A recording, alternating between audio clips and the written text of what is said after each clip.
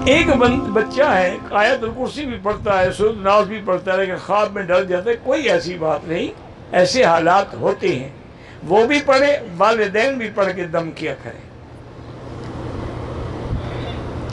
एक औरत को मैंने किसी से सामान दिलाया था, वो पैसे नहीं दे रही, वो सदका नहीं होगा, वो तो आपका माल हराम खा गई ना, सदके की तो नीयत नहीं थी उस वक्त। बहरहाल, अल्लाह है, दुआ करें कि अल्लाह करे वो आपका माल दे दे वरना वो सदका नहीं हो सकता। सदका तो तब हो जब आपके कब्जे में हो और खैर आपकी नीयत से आप दें। बच्चों को नज़र बद से बचाने के लिए सूरत नून की आखिरी कलम पढ़, सूरत नून वल कलम की आखिरी आयत सुबह शाम दम किया करें और रिज्क में बरकत के लिए इस्तफार पढ़ा करें। गैर फितरी तरीके से, यानी कोई खामंद अपनी औरत को अगर उल्टे रास्ते से इस्तेमाल करना चाहे तो उस पर अल्लाह की लानत है। सही हदीस है मेरे मदनी की कि मन ताफ़ी दुबर इमरात ही, जो आदमी अपनी औरत को पीछे से करता है फ़ाल लानतुल्लाह, उस पर अल्लाह की लानत है। अब उसकी मर्ज़ी वो लानती बने। हजर असवद हतीम पे लोग धक्के बड़े देते हैं, अल्लाह हिदायत दे और क्या कर सकते हैं? ये तो इब्तदा से होता है। हज़रत अब्दुल्ला अनवर फरमाते हैं, उस ज़माने में भी मुझे बोसा देने का बड़ा शौक होता था। रश इतना होता था, लोग मेरे कपड़े फाड़ देते थे। माने कि ये काम पहले से होता आ रहा है।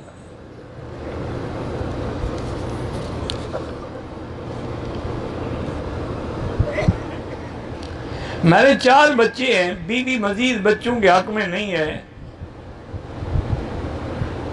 तो अब ये है कि अगर सरकारी नौकरी दिलाएँ, दूसरी शादी करनी हो तो इख्तियार है। बहरहाल, तलाक न दें, आप साहेब औलाद हैं, बच्चे रुल जाएँगे, फिर आप बर्बाद हो जाएँगे। तलाक बिल्कुल न दें, सबर सिकुर से गुजारा करें, बीवी को हर हाल में राज़ी करने की कोशिश करें। अगर वो कमज़ोर है और बच्चे पैदा करने के काबिल नहीं है तो आप और शादी कर लें। लड़के जब बाले हो जाते हैं ना, मूछों में बाल आते हैं और एहतलाम होता है और जेर नाफ भी बाल आ जाते हैं। वो देख सकते हैं आप कैसे पता नहीं अब तो हज़रत, तुम अपनी फ़िक्र करो, बच्चे को बालक होने का पता पाँच साल की उम्र में लग जाता है। अब वो फ़िल्में देखता है, तुमसे ज़्यादा बालक है। ये पुराने ज़माने की बातें हैं कि शर्म से लड़कियाँ जवान हो जाती थी, बताती नहीं थी कि मुझे हैज़ आया है। एक औरत गुर्दों की बीमारी में डरासिस पे है, अल्लाह शिफा अता फरमाए।